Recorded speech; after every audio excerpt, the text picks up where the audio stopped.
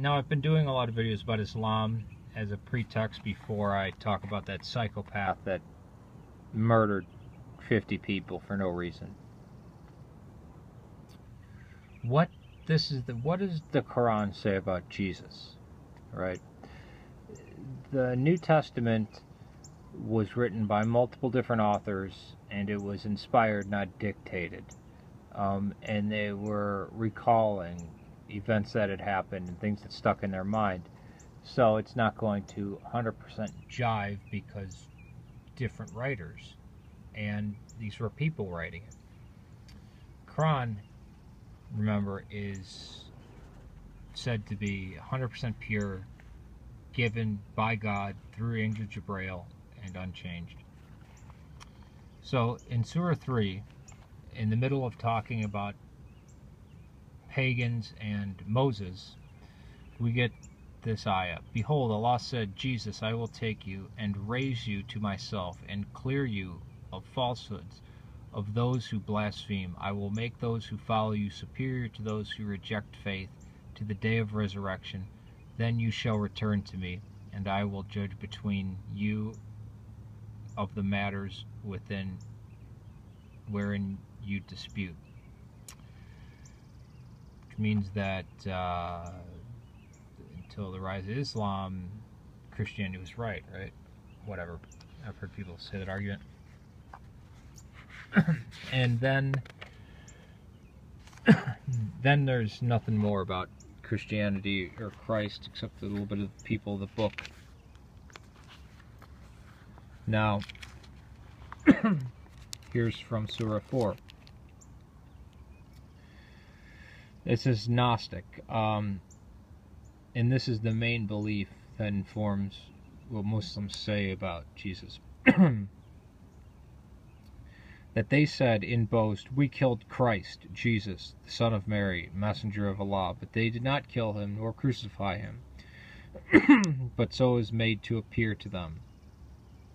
And those who differ therein are full of doubts, with no certain knowledge, only conjecture follow. For surety they did not kill him. Nay, Allah raised him up to himself, Allah exalted in power and wise. And there is none of the people of the book but must believe in him before his death, and on the day of judgment he will witness against them. What? Yeah, right.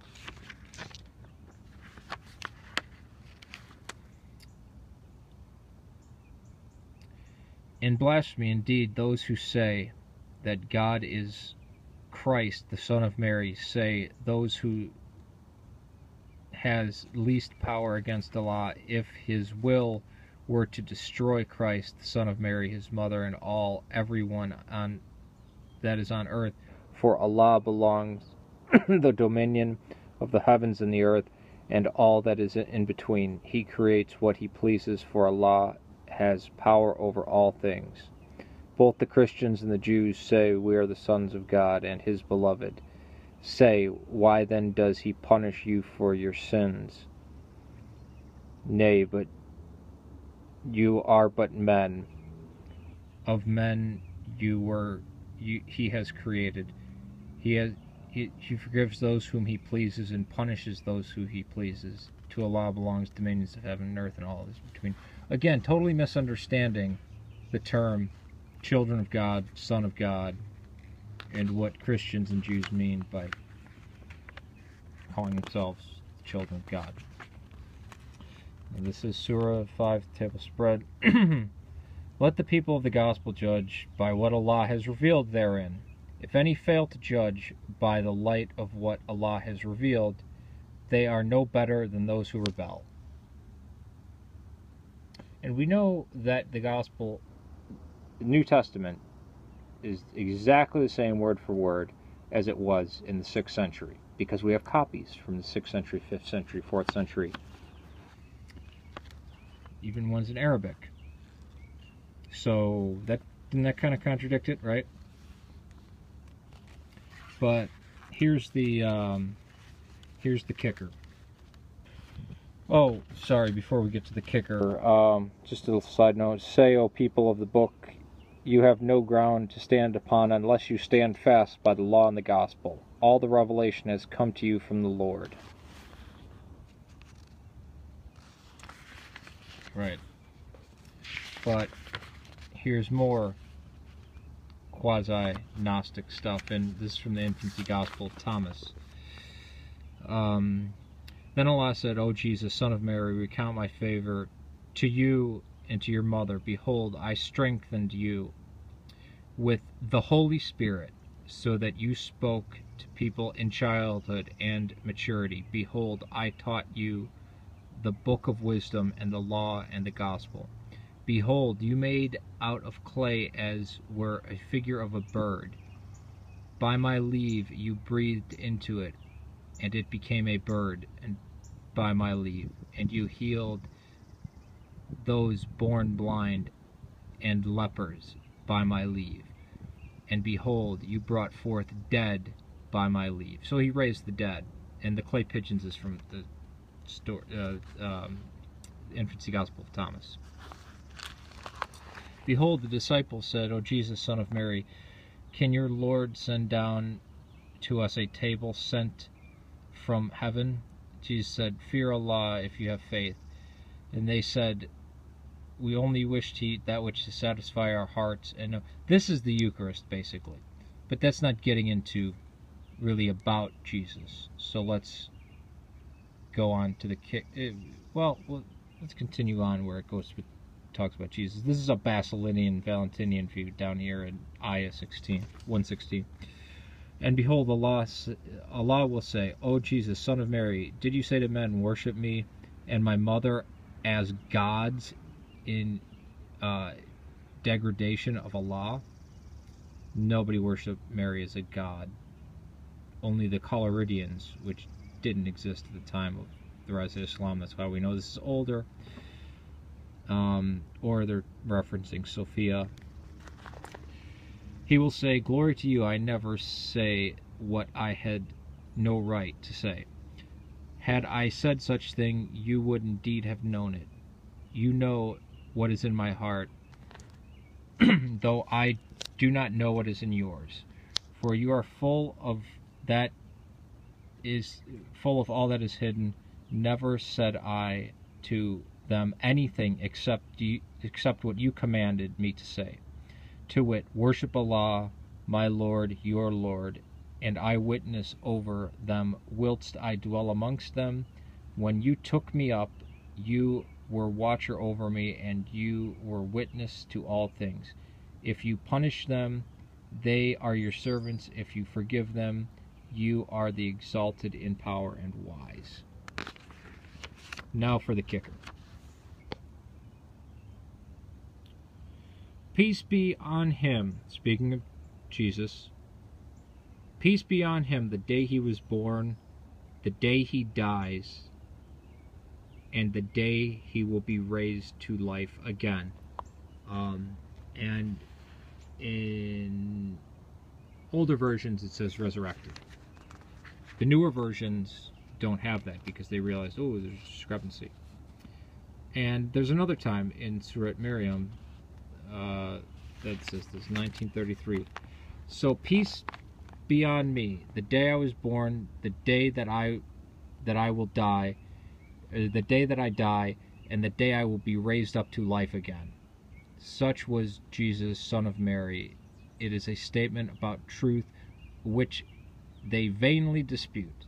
It is not befitting to the majesty of Allah that he should beget a son.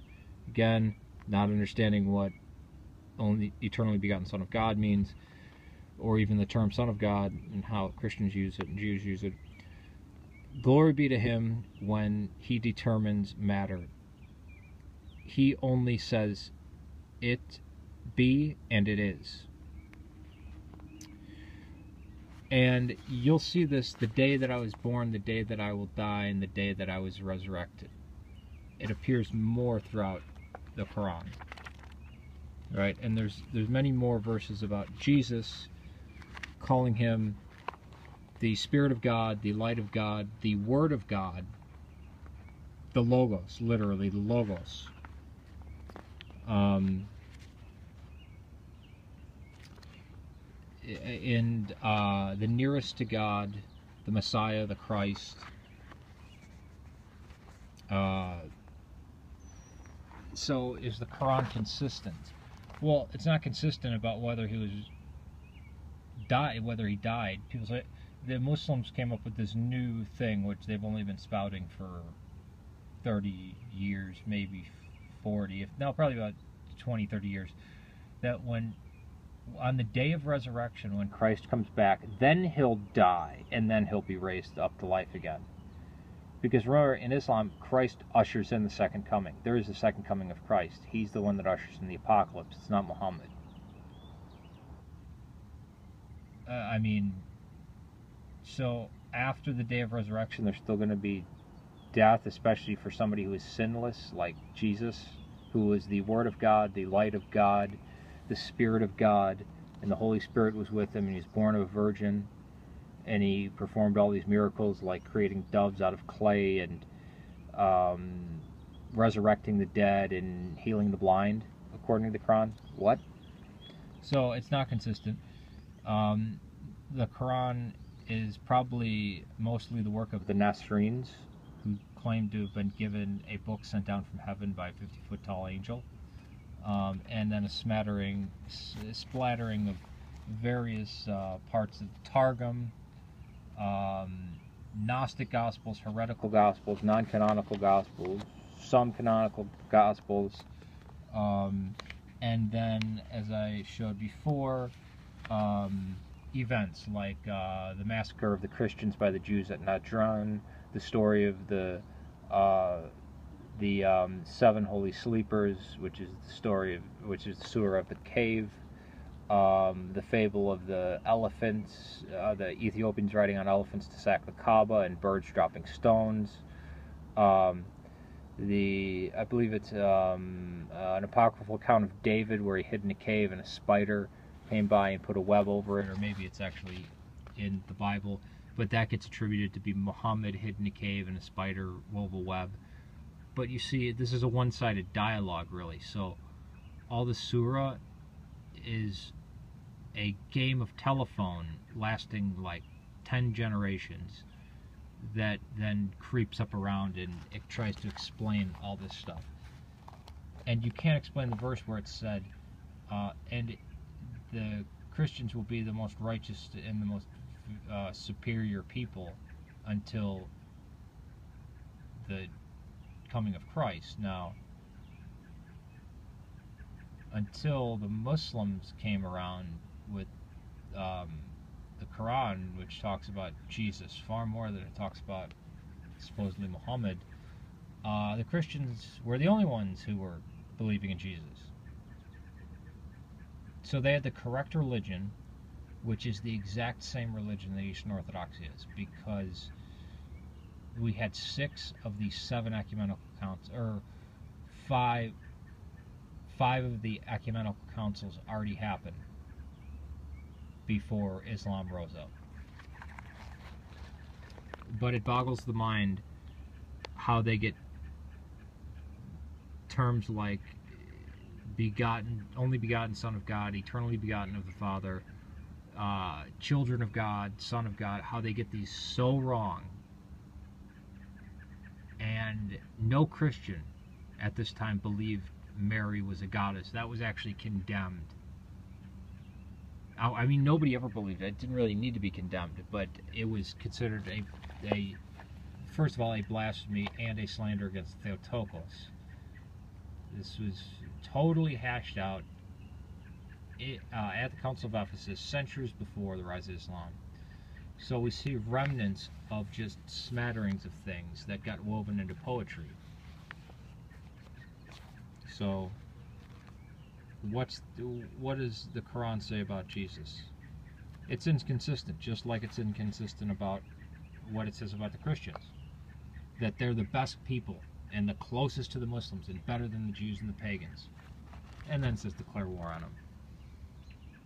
So when somebody tells you, well, the Quran says that Jesus did, wasn't crucified, say, yeah, that's true. And then it says in seven other places that he was died and resurrected. and it's only one verse where it says he only appeared to be crucified.